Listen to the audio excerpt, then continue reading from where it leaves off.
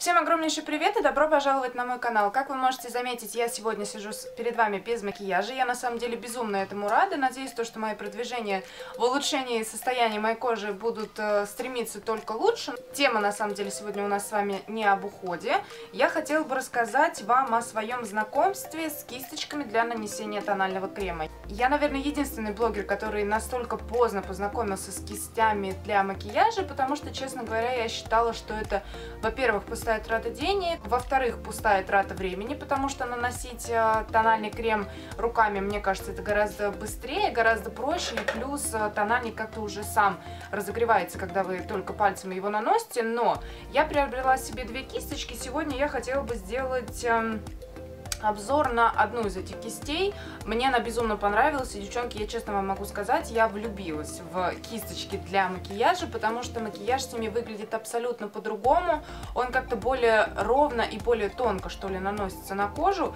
И сегодня я хотела бы поговорить с вами вот о такой вот кисточке. Она у меня не совсем чистая, потому что я действительно пользуюсь ей каждый день. Эта кисть у меня от э, New Air Cosmetics, и называется она F68. Сейчас я сделаю немножко камеру поближе, чтобы показать вам, ну и, собственно, как она в действии. Эта кисть у меня более набитая, нежели следующая, которую я вам покажу, но это будет немного позже, чуть-чуть в другом видео. Я извиняюсь за то, что я буду жмуриться, потому что все-таки очки я ношу не просто так, но сейчас я в стадии отвыкания от очков. Собственно, кисть вот такая вот, она очень красивая, на самом деле одно удовольствие ее использовать и также одно, одно удовольствие держать ее в руках.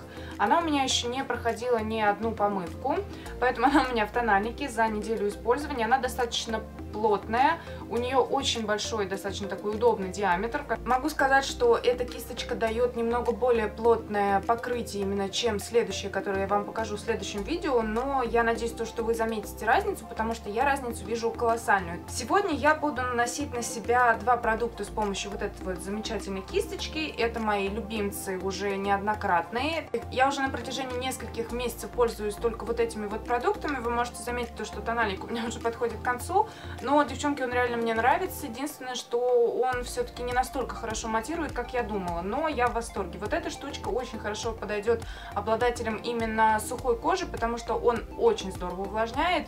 И, собственно, это панстик от э, Max Factor у меня в 12 оттенке True Beige. Я его очень люблю. Давайте вернемся все-таки к нанесению тонального крема. Сейчас я попробую найти у себя какое-нибудь зеркальце, которое мне будет удобно смотреться, удобно красить. Сейчас, кстати, вам покажу ежедневную свою технику нанесения средств вообще, как я крашусь, собственно. Панстик беру, наношу на именно более такие проблемные зоны, где у меня больше высыпаний и, собственно, с областью, в область под э, глазами, потому что мешки и синяки у меня такие достаточно сильные из-за того, что я очень мало и очень плохо сплю.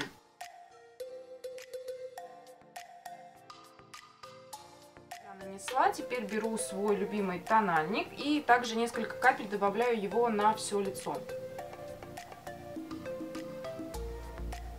Это я делаю для того, чтобы немножко придать э, такой э, отдохнувший, загоревший оттенок своему лицу, потому что я сейчас бледная, очень углубилась на очищение, но все-таки я загораю. То есть сейчас я хожу именно в солярий. И, кстати, могу сказать, что для моих высыпаний это послужило очень хорошим плюсом. И то, что, кстати, я сгорела безумно сильно, я вам потом как-нибудь об этом расскажу. Но да, был у меня период, что я вообще краситься не могла. Я даже улыбаться не могла, и есть не могла, ничего не могла.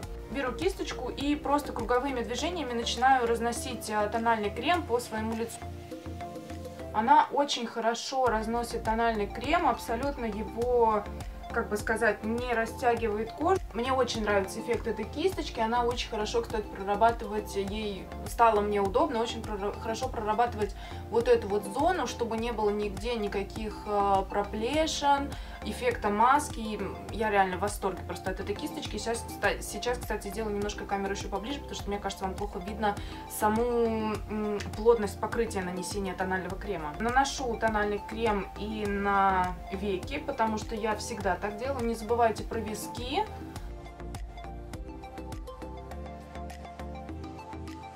Что вам видно, что плотность э, тонального крема достаточно хорошая, то есть он не убирает слишком много тональника. Но... Да, мне просто безумно нравится результат. Кто-то может сказать, что слишком припудрено, слишком замазано, но реально это потрясающе, на мой взгляд. Я никогда не думала, что у меня будет настолько сильная любовь э, к кисточкам для макияжа. Не забывайте прорабатывать также область э, вокруг волос, но не надо замазывать все волосы тональником, потому что это очень сильно видно говорите про область вот эту вот, когда ваше лицо переходит к шее, потому что это очень важно. Очень большое количество девушек ходит именно с эффектом такой маски на лице. Я этого абсолютно не понимаю и мне не нравится. Собственно, вот, вы можете видеть то, что эффект достаточно такой а, натуральный. Никаких проплешин, никаких пятен, все очень ровно, тонко, достаточно натурально, ну, как по мне, так натурально. Я безумно довольна этой кисточкой, поэтому всем могу ее посоветовать. Я сделала вывод, что все-таки накрашусь я с вами, то есть это будет такой небольшой обзор на кисть и также get ready with me. Для начала я сотру то, что у меня здесь нанеслось на губы, и таким образом как бы у меня образуется база для уже продукта для губ. То есть я пока не знаю, какую помаду точно я буду использовать, но я их как бы так вот подготовила. И еще один такой подготовительный шаг для моего макияжа, это я нанесу на свои губы бальзам от Нивея, очень сильно его люблю. По-моему, это один из самых лучших, наверное, бальзамов, которые я только встречала, потому что он, во-первых, придает э, цвет губам тем, кто не любит э, такие, вы знаете, яркие какие-то губы, те, кто любит именно натуральные, какие-то даже больше нюдовые, он выбеливает губы, собственно, вы можете это видеть, да, я не буду так ходить, потому что сейчас весна, хочется больше сочности, больше яркости, но он очень хорошо увлажняет губы, подготавливает их для нанесения именно помады, блеска, либо карандаша, не знаю, кто как чем, кто чем пользуется, на выбор. Далее, значит, губы я свои подготовила, пока они будут ухаживаться, увлажняться, я буду краситься. Сегодня я хочу вам Опять же покажу тот макияж, который я использую в повседневной жизни. То есть я крашусь так каждый день, потому что... Потому что этот макияж занимает у меня минимальное количество времени с утра, и мне он действительно очень сильно нравится. Я могу сказать, что это, наверное, один из э, любимейших моих сейчас макияжей, потому что я, э, когда выработала для себя вот такую вот именно технику, я поняла, что мое количество времени на сборы сокращается просто в какие-то гигантские размеры. Я гораздо быстрее собираюсь и перестала опаздывать на работу, что, не является, что является огромным просто плюсом. Далее, что мы с вами будем делать. А, в качестве теней, в качестве хайлайтера я использую сейчас именно хайлайтер. Хайлайтер у меня это один из самых знаменитейших Benefit э, What's Up. И, собственно, я наношу его как на вот эти части, как над губой, так, собственно, под бровью и на все подвижное веко, потому что у меня этот хайлайтер выступает именно в качестве теней. Наношу его аккуратно достаточно внутренний уголок э, глаза, чтобы так э, подсветить, освежить свой взгляд, чтобы не казаться такой уставшей, как я на самом деле сейчас каждый день вообще в таком состоянии непонятно пребываю. Также делаю Заметьте, не на припудренную абсолютно кожу наношу вот сюда. Я надеюсь, вам достаточно хорошо виден тот эффект, который дает э, этот хайлайтер. Мне он очень сильно нравится, но я уже пользуюсь им достаточно долго. И мне кажется, честно говоря, он просто нескончаемый. Также вот здесь вот на губу наношу, чтобы как-то подсветить и сделать свои губы больше. А, хотя, не знаю, мне нравятся мои губы, честно говоря. Далее растушевываю на глазах его и перевожу его на все подвижное веко, так как бы делая уже именно тени сами наношу. То есть этот макияж реально, если без болтовни, без каких-то таких вот э, улетаний хайлайтера, этот макияж делается буквально 5-7 минут. Поэтому, девчонки, у кого нет времени абсолютно на утренний макияж, могу вам посоветовать именно такой вариант. То есть, ну, как бы, продукты вы можете варьировать, но он очень удобный и очень быстрый. Это я вам точно могу сказать, э, учитывая то, что я достаточно много времени, практически каждый раз э, тратила на макияж. Сейчас это происходит гораздо быстрее. Далее, что я беру? Я беру свою одну из любимейших растушевочных кисточек. Это у меня кисточка, на самом деле, от Essence. Тоже вы можете заметить то, что я ей пользуюсь, активно пользуюсь. Не стала предварительно специально мыть кисти, потому что, потому что посчитала это просто ненужным. Хочу, чтобы вы увидели как у меня в обиходе именно это все происходит. Беру тени, опять же, от Benefit из, кстати, вот этого наборчика Наборчик у меня был The Bronze of Champions. Вот такой вот набор. И здесь были вот такие вот тенюшки. Я, честно признаюсь, не помню абсолютно, как они называются, но они мне очень сильно нравятся. Они не яркие. С ними очень тяжело, мне кажется, накосячить, потому что они делают такую бронзово-серебряную, очень красивую линию, давая такую более, мне кажется, менее натуральную тень. И мне действительно очень нравится, как они ведут себя в течение дня. Кстати, по поводу того, что я нанесла себе хайлайтер достаточно жирный на все подвижное веко, у меня тени в концу дня абсолютно не скатываются. Итак, что-то я очень много сегодня с вами разговариваю, наношу на э, в складку своего века, у меня немного надвисшее такое веко, поэтому я всегда стараюсь э, как-то сделать глаз больше, подчеркнуть складочку и, естественно, затемнить э, внешний уголок э, глаза, чтобы глаз казался более таким выразительным, не плоским и не таким надвисшим. Наношу все очень легкими движениями. Мне безумно нравятся эти тени. Как уже и говорила, они дают натуральную такую коричнево-серебристую бронзовую тень. И она действительно смотрится очень хорошо. И мне кажется, да, с ними накосячить это надо очень сильно постараться и быть абсолютно безруким человеком, чтобы как-то сильно ими переборщить.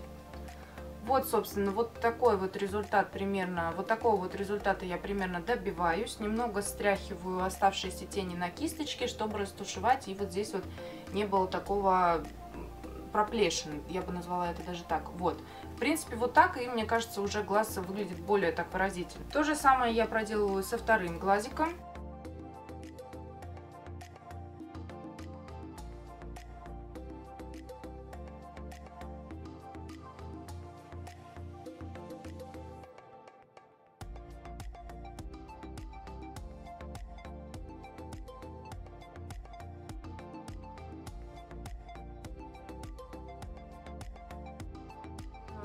Вас э, к себе приближу, чтобы вам было более так именно наглядно видно, что же у меня происходит сейчас на лице. Беру свой любимейший карандаш от Jade, мне он безумно нравится, он очень мягкий, он очень черный, он бархатный и он достаточно долго носится. Единственное, если я наношу его на нижнюю линию роста ресниц, собственно, что я буду делать сегодня. Это практически каждый мой макияж э, именно так и выглядит. Я всегда подвожу себе веки, я всегда подвожу себе ресничный край, потому что, мне кажется, у меня маленькие глаза, и мне хочется сделать их более выразительными. Так как-то взгляд делается, на самом деле, более выразительным. Итак, э, делаю аккуратную стрелочку сверху и подвожу нижний рост ресниц. Сейчас, сейчас болтать с вами не буду, потому что это достаточно сложно, и можно очень легко накосячиться.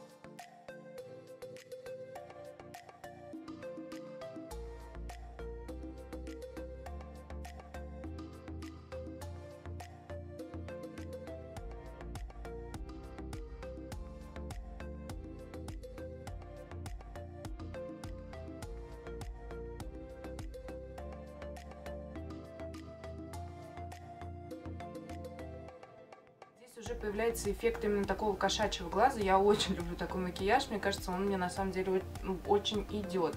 Ну, собственно, тоже делаю то же самое сейчас делаю со вторым глазом и вернусь к вам.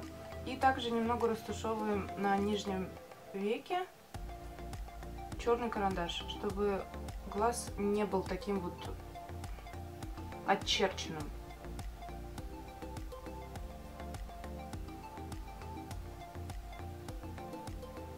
Перейдем к бровям. Моим любимейшим продуктом, который у меня сейчас уже заканчивается, является вот такой вот карандашик от э, L'Oreal. Это оттенок э, Deep Brown 303. Здесь безумно удобная кисточка, и мне очень нравится его оттенок. Я сейчас немножко поменяла форму своих бровей, сделала их чуть-чуть потоньше. Мне очень нравится цвет волос. Сейчас этот карандаш подходит идеально. Для начала я прочесываю свои брови, дабы убрать э, тональный крем, который я нанесла нанесла, который я могла нанести на свои брови. Я абсолютно не цели нарисовать себе брови одинаково, потому что если, если вы внимательно посмотрите, то вам сразу станет понятно, что брови у меня очень асимметричные. И пробовать сделать их какими-то симметричными, я считаю, что в этом смысла никакого нет. И у меня, в принципе, лицо очень асимметричное, поэтому а, прошу вас сразу не говорить о том, что я как-то неправильно нарисовала брови. По сути, я просто немного делаю их ярче, но форму своих бровей я не меняю, потому что я считаю, что это бессмысленно. Начинаю проходить от э, именно основание своей брови, немножко делаю ее вот как бы ближе к носику. Не переживайте, если вы чуть-чуть заезжаете за края бровей, потому что э, вы с легкостью потом, во-первых, сможете это растушевать кисточкой, которая здесь на кончике, ну, либо, либо же вообще любой кисточкой. И также ваша бровь чуть-чуть, если вы заедете, станет такой более естественной. Я бы это, наверное, так даже назвала. И также я никогда не переживаю, если я вот здесь заезжаю, потому что с легкостью можно это убрать. Беру кисточку, пока карандаш не засох. Он очень э, дает такой натуральный эффект. Также потрясающе, на мой взгляд, держит именно форму бровей и добавляет как бы таких вот бровинок. Я не понимаю девчонок, которые делают очень отчерченную форму бровей. Да, иногда это выглядит э, красиво, но иногда это выглядит настолько неуместно, что у меня даже, честно говоря, слов не хватает. Тоже самое делаю со второй бровью. Она у меня такая более лысенькая, поэтому я немного более интенсивно ее прокрашиваю.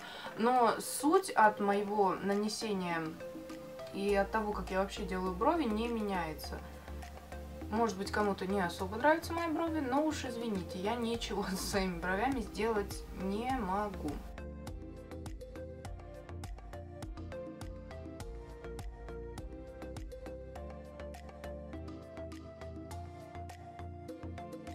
С бровями я своими закончила.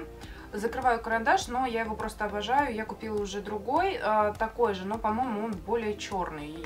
Не знаю, в общем, пока не могу вам ничего сказать по поводу того, что понравился он мне или не понравился. Далее финальные просто штрихи уже заканчиваются. Это как раз-таки я беру пудру. Я беру пудру. Пудра у меня от Maybelline Affinity мат и оттенок это у меня 30 натурально бежевый. Мне он очень сильно нравится. Это, мне кажется, одна из лучших а, пудр. Вообще, вообще мне очень сильно нравится пудры у Maybelline. И, собственно, беру пушистую кисточку и обычными движениями, такими вот прихлопывающими наношу. Но наносить я буду а, везде, кроме, на, да, кроме области переносицы и где, собственно, я хайлайтер наносила. Потому что я хочу, чтобы та область осталась подсвеченной. А если я здесь сейчас наляпаю себе пудру, то это будет выглядеть вот именно как будто бы я налепила и какие-то куски, в общем, непонятные. Просто прихлопывающими движениями разношу пудру по своему лицу. Не особо такой мне нужен плотный слой, но вы видите, собственно, где есть пудра, а где нет пудры. Немножко на подбородок я как бы обхожу эту область, где у меня нанесен хайлайтер. Немножко обязательно под глазами, потому что я терпеть не могу, когда у меня блестит область вокруг глаз. Я не знаю, бывало такое у кого-нибудь или нет. Извиняюсь, то, что я сейчас смотрю именно в экранчик, потому что стараюсь не смотреть в зеркало, потому что мне абсолютно не получится вам ничего показать. Опять же, наношу под глазик. И как бы когда я припудриваю свои области вокруг э, под глазами, у меня нету ощущения таких огромных мешков, как они у меня как бы есть. Потому что действительно у меня достаточно большие мешки, и я, к сожалению, ничего не могу с этим сделать. Что бы я ни пробовала, от мешков меня ничего не спасает. Обязательно не забывайте наносить пудру также на шею, чтобы сравнять более-менее тон. Еще немного нанесу. Так, далее я перехожу к приданию цвета более живого своему лицу. Сейчас я вам покажу то, что я использую в качестве а, такого скульптурирующего продукта. Вы только не пугайтесь, не кидайте в меня тухлыми помидорами. Но мне очень понравилось именно так наносить а, румяна. Это румяна у меня от э, Литуаль, они в таком розово-кирпичном немного оттенке. Это цвет э, у меня 105 Nos, Nostlage. А, как всегда, мой корявый английский. В общем, беру кисточку, даже не скошенную, то есть это обычная такая кисточка для румян. У меня здесь, если вы можете заметить, уже такая достаточно большая обширная дырка, потому что я очень люблю эти румяна. Они имеют такой шиммер, но этого шиммера вообще не видно на лице. Наношу на кисточку обычными движениями, смотрю, сколько здесь продукта. Если мне кажется, что его нормально, а его сейчас немножко многовато, снимаю излишки вот такими потряхивающими движениями, делаю рыбку и наношу румяна в область, где у меня падает тень.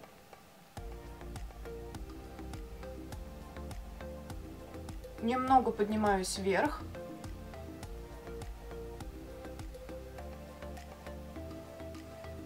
Также беру еще чуть-чуть и наношу вот здесь. То есть как бы прорисовываю линию своей скулы. И не забываю наносить на нижнюю часть челюсти, где переход, в общем, к шее. Видите, результат есть, и, на мой взгляд, он достаточно хороший. Поэтому, если вы не знали, можете присмотреть и попробовать использовать румяна так. Если у вас нету, допустим, денег, денег на бронзер, у меня как бы есть бронзер, но я сейчас именно вот румянами использую, румяна использую, потому что, во-первых, это два в одном, грубо говоря, получается. Вы освежили себе лицо и также отскульптурировали его. И, собственно, перехожу к второй стороне своего лица, делаю то же самое.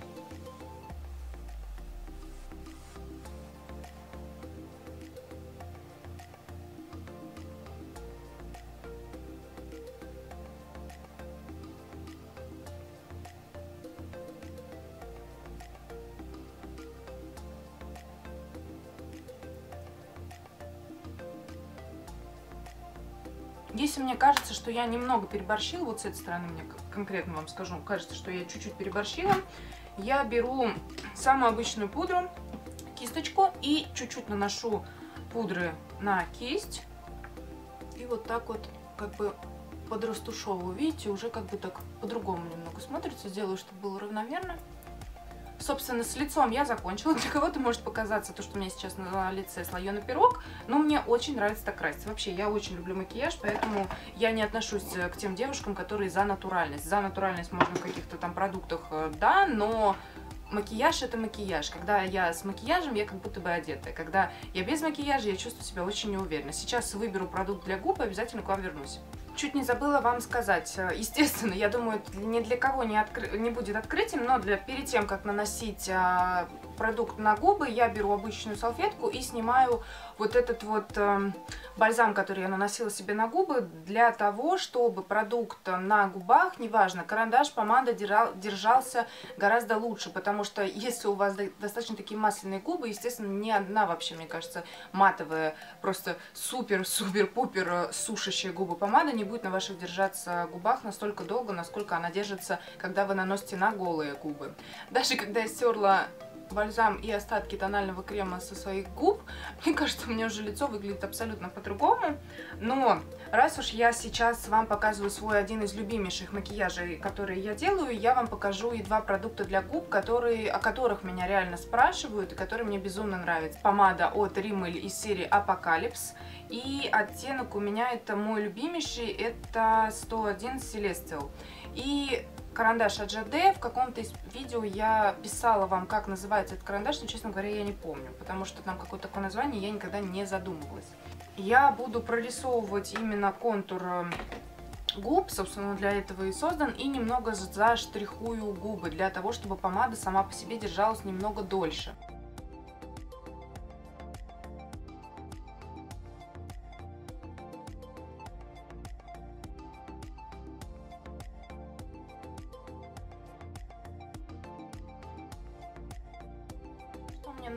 В этом карандаше для губ, это то, что он настолько идеально, мне кажется, совпадает с моим оттенком э, естественным губ, что не особо будет сильно видно, если у меня будут где-то какие-то погрешности. Поэтому я этот карандаш обожаю, у меня здесь такой грызок, но на самом деле из каких-то, которые у меня есть, есть абсолютный аналог этого. Если вам интересно, это какой карандаш э, из обычных магазинов можно приобрести идеально совпадающий с этим, то вы мне обязательно напишите, я вам э, напишу. Но, по-моему, это Диваш.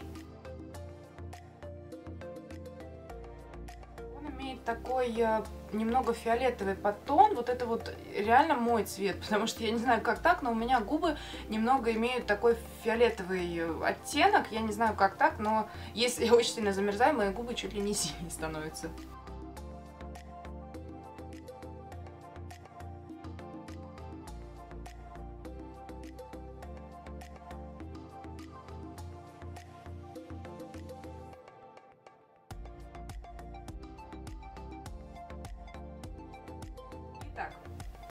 Карандашом я закончила. Я, кстати, очень люблю его использовать именно и в дуэте. То есть, когда один просто наношу и вот так вот хожу. Немного могу блеска добавить сверху, прозрачного абсолютно, потому что он чуть-чуть сушит губы. Помаду от Rimmel Apocalypse в оттенке 101.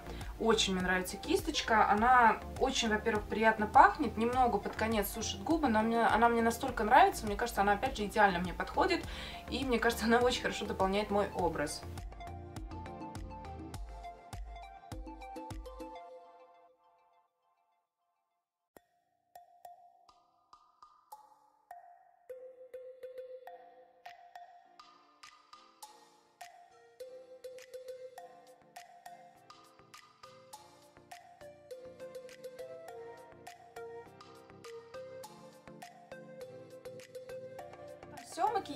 Свой сделала. Сейчас буду снимать видео про уход за волосами. Если вам интересно, то обязательно ждите следующего видео. Я надеюсь, что вам оно будет интересным и вам оно будет полезным. Также я надеюсь, что вам понравился мой такой небольшой туториал. И вы поняли, что кисточка для нанесения вот это вот именно макияжа, она просто потрясающая. Стоит она там в районе, по-моему, 700 или 800 рублей. Не так дорого, учитывая то, какая у нас сейчас ситуация в стране. У меня из этой кисточки не выпало еще ни одного волосочка. Поэтому я могу сделать вывод, что она мне очень сильно нравится. Хотя цена у этой и следующей, очень, мне кажется, много говорю о следующей, но реально мне безумно понравилась эта кисть, поэтому всем могу ее поставить. Потрясающая кисть, очень плотно набитая, потрясающе наносит тональный крем. И я пойду ее мыть для того, чтобы сделать следующее видео уже с другой кисточкой. Итак, на этом я буду с вами прощаться. Огромное вам спасибо за внимание. Я вас всех очень сильно люблю, всех целую. Пока, до новых встреч.